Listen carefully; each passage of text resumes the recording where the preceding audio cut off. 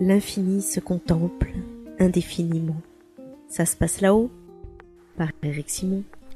Après une recherche systématique sur des galaxies naines et d'autres petites galaxies proches, une équipe d'astronomes européens a identifié 276 noyaux actifs qui auraient pour origine des trous noirs de masse intermédiaire, entre 1000 et 1 million de masse solaire.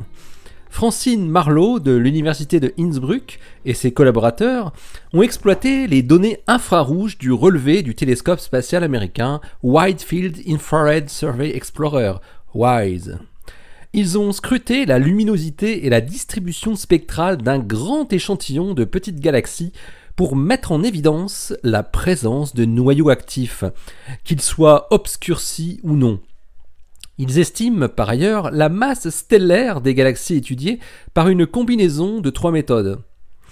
Les astronomes autrichiens et anglais trouvent 303 candidats noyaux actifs et parmi ceux-ci, 276 ont pu être identifiés comme tels par d'autres méthodes indépendantes. La masse des galaxies en question s'étale entre 1 million et 1 milliard de masses solaires.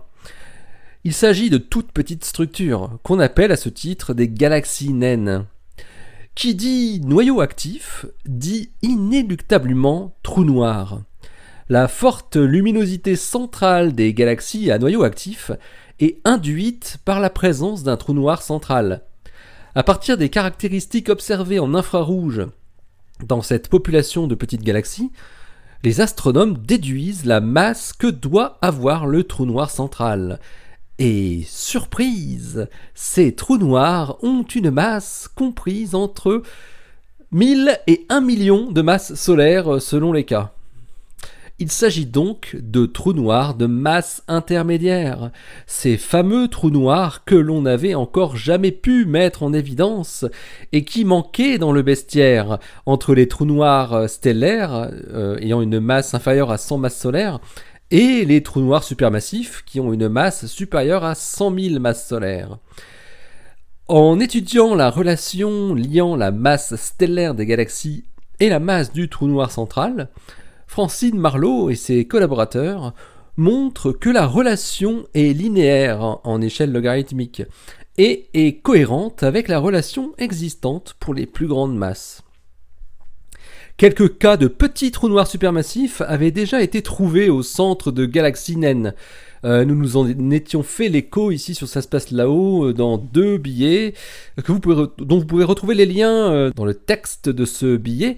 Euh, et ainsi euh, qu'un fort indice de trou noir intermédiaire au centre d'un amas globulaire euh, dont on avait parlé en février dernier avec l'amas globulaire 47 Tucanae. Il semble donc que les trous noirs intermédiaires existent bel et bien, ce qui referme une longue question, et en plus qu'ils se trouvent naturellement au centre des petites structures stellaires, avec une masse environ proportionnelle à la masse en étoiles de leur galaxie haute.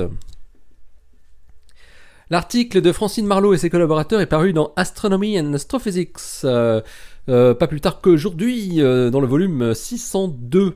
Et il a pour titre Infrared Signature of Active Massive Black Holes in Nearby Dwarf Galaxies. Je mets le lien euh, de l'article en question donc euh, en bas du billet sur ça se passe là-haut comme toujours.